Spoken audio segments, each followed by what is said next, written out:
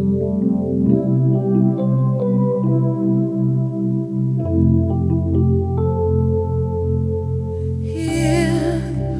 close to our feelings, we touch again, we love again.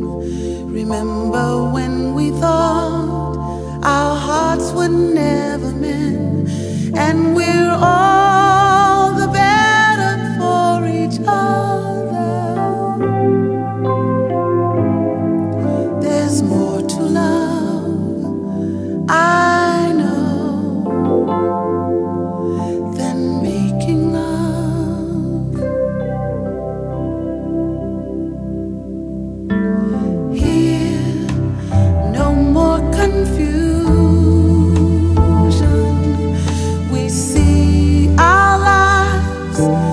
believe